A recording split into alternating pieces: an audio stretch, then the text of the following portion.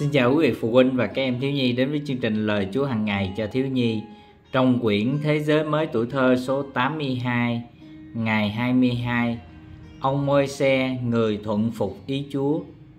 Kinh Thánh xuất Ê Tô ký, đoạn 3 câu 7 đến câu 14 Câu ghi nhớ, xuất Ê Tô ký, đoạn 3 câu 10 phần A, câu 13 phần B. Hãy lại đây, đặng ta sai ngươi đi, để dắt dân ta là dân Israel ra khỏi Egypto. Này tôi sẽ đi đến dân Israel. Chúng ta cùng đọc Kinh Thánh ở trong Xuất Egypto ký đoạn 3 câu 7 đến câu 14 Xuất Egypto ký là sách thứ nhì ở trong Kinh Thánh Cựu Ước. À, Kinh Thánh Cựu Ước trang 52 Xuất đoạn 3 câu 7 đến câu 14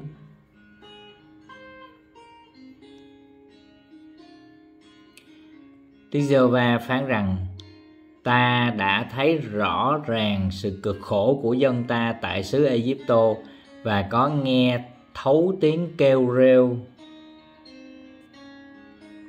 Vì cớ người đốc công của nó phải ta biết được nỗi đau đớn của nó ta ngự xuống đặng cứu dân này khỏi tay người Egypto dẫn từ xứ ấy lên đến một xứ kia đẹp đẽ và rộng rãi đượm sữa và mật tức là nơi dân Canaan, dân Hethit, dân Amorit, dân Pheresit, dân Hevit và dân Jebusit ở.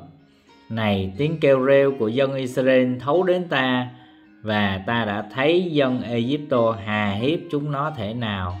Vậy bây giờ hãy lại đây, đặng ta sai ngươi đi đến Pharaoh để dắt dân ta là dân Israel ra khỏi xứ Egypto.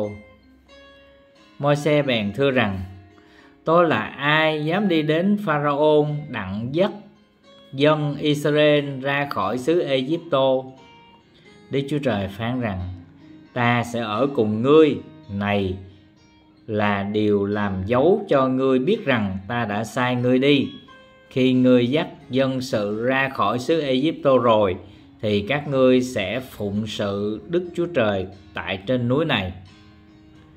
Môi xe thưa cùng Đức Chúa Trời rằng, Này, tôi sẽ đi đến dân Israel, Nói cùng họ rằng, Đức Chúa Trời của tổ phụ các ngươi Sai ta đến cùng các ngươi. Nhưng nếu họ hỏi tên Ngài là chi Thì tôi nói với họ làm sao Đức giê va phán rằng Ta là đấng tự hữu hằng hữu Rồi Ngài lại rằng Hãy nói cho dân Israel như vậy, đấng tự hữu đã sai ta đến cùng các ngươi. Câu ghi nhớ chúng ta ở trong câu số 10A và 13B. Câu 10A.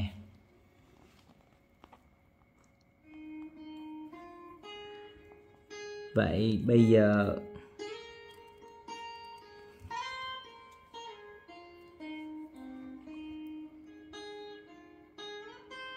vậy bây giờ hãy lại đây. Rằng ta sai ngươi đến cùng pharaoh để dắt dân ta. Chúng ta xem lại trong sách kệ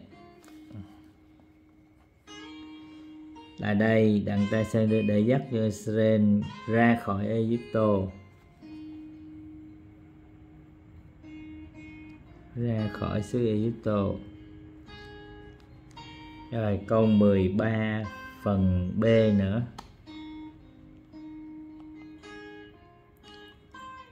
Câu 13 phần B. Tôi sẽ đi đến. Này, tôi sẽ đi đến cùng dân Israel. Yeah vậy chúng ta đọc cái câu ghi nhớ có hai chỗ ha. Đây. Vậy bây giờ hãy lại đây, đặng ta sai ngươi đi đến pharaoh để dắt dân ta ra khỏi xứ Egypto. Này, tôi sẽ đi đến dân Israel.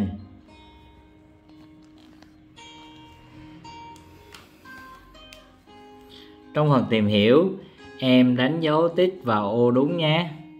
Chúa nói gì với ông Môi-se về thực trạng của dân Chúa ở trong câu số 7 câu số 7 thì Chúa nói sao? Giê-va phán rằng, ta đã thấy rõ ràng sự cực khổ của dân ta tại xứ Ai-Cập và có nghe thấu tiếng kêu reo vì cớ người đốc công của nó. Phải ta biết được nỗi đau đớn của nó. Có nghĩa là dân Do Thái à, bị người Ai Cập hay là người Egypto đó bắt à, làm gạch. À, có nghĩa là dùng cái à, cái đất sét à, với rơm à, để mà làm thành những cái viên gạch à, để à, à, pharaoh xây nhà xây. Cho nên họ rất là cực nhọc. Họ họ cực khổ và đau đớn. Đây chúng ta đánh dấu vào chỗ cực khổ và đau đớn. Rồi. Bình an và thịnh vượng có không các em? À, không có. Rồi. Chúa sai ông Môi-se làm gì? Câu 10 câu 10 Chúa bảo là vậy bây giờ hãy lại đây đặng ta sai ngươi đi đến Pharaoh để dắt dân ta là dân Israel ra khỏi xứ Egypto. Để dắt dân Israel ra khỏi xứ Egypto. Đây là câu đúng. Rồi, Chúa sao Moses Môi-se hà hiếp dân Egypto có không? À không. Câu 3 ông Môi-se đáp ứng thế nào ở trong câu số 13 ông sẽ nói như, nói gì các em? Ông nói gì? Môi-se thưa cùng Đức Chúa Trời rằng, này, tôi sẽ đi đến dân Israel tôi sẽ đi. Nói là tôi sẽ đi. Rồi. Ở đây à, chúng ta thấy đây là cái cái bụi gai đang cháy đây. À, cái bụi gai hay là cái bụi à, à, cây à, ở trong sa mạc đó các em thì trong sa mạc trời rất là nắng rất là nóng và thường mấy cây nó khô héo nó chết. À, cho nên là à, lâu lâu thì à, có những cái cây nó nắng quá nóng quá thì nó bốc cháy lên. À, và thường là cái cây nó cháy rất là nhanh. Ừ, cháy rất nhanh nó cháy một cái bùng lên cái nó tàn. À, nhưng mà mơ xe thấy có một cái cây cái bụi gai một cái cây nó đang cháy mà nó cháy hoài không có tàn. À, có nghĩa là nó nó bất thường nó không có như là những cái cây khác mà nó cháy rồi cái nó hết liền nhưng mà cái cây này sao thấy trái hoài cho nên môi xe đi lại và Chúa đã phán với môi xe môi xe quỳ gối ở đây nghe nghe tiếng Chúa phán và Chúa bảo ông môi xe là phải à, dẫn dân của Chúa ra khỏi Egypto ra khỏi Ai Cập Ông Môi-se nhận biết Chúa cách cá nhân và vâng theo tiếng gọi của Chúa. Ông nghe được tiếng Chúa phán và ông vâng theo tiếng gọi của Chúa. Thực hành, Chúa vẫn kêu gọi và dùng cuộc đời em cho nhà Chúa. Chúa vẫn kêu gọi và dùng cuộc đời em cho nhà Chúa. Em sẵn lòng làm theo ý Chúa. Chúa kêu gọi các em để trở thành những người con ngoan à, rồi vâng lời cha mẹ khi lớn lên các em có thể à, học trường kinh thánh để ra làm mục sư người hầu việc chúa hoặc là các em làm những người phục vụ chúa như là trong ban chấp sự trong ban điều hành các ban hoặc là chúa dùng các em để à, làm việc này việc kia à, để truyền giảng lời Chúa cho mọi người để làm sáng danh Chúa qua cuộc đời của các em. Đó là Chúa kêu gọi các em có thể các em trở thành bác sĩ trở thành thầy cô giáo trở thành à, người làm công việc này công việc kia và qua cái công việc của các em làm đó các em làm sáng danh Chúa. Có nghĩa là giới thiệu về Chúa cho những người làm chung những người chung quanh mình. Chúa dùng cuộc đời của các em. Rồi em sẵn lòng theo tiếng Chúa gọi và làm theo lời Chúa dạy. Chúa ơi, xin cho con sẵn lòng.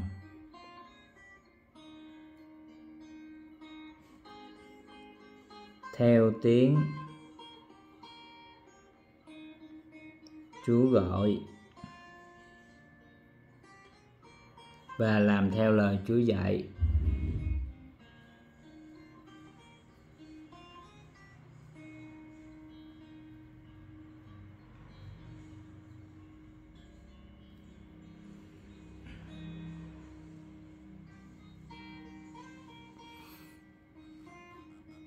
Chúng ta cùng hiệp ý với nhau trong lời cầu nguyện nhé.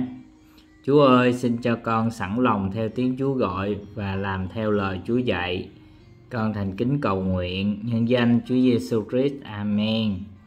Xin Chúa ban phước cho quý vị phụ huynh và các em thiếu nhi để chúng ta sẵn lòng theo tiếng Chúa gọi và làm theo lời Chúa dạy giống như là môi xe vậy. Xin chào và hẹn gặp lại trong bài học tiếp theo ngày mai nhé.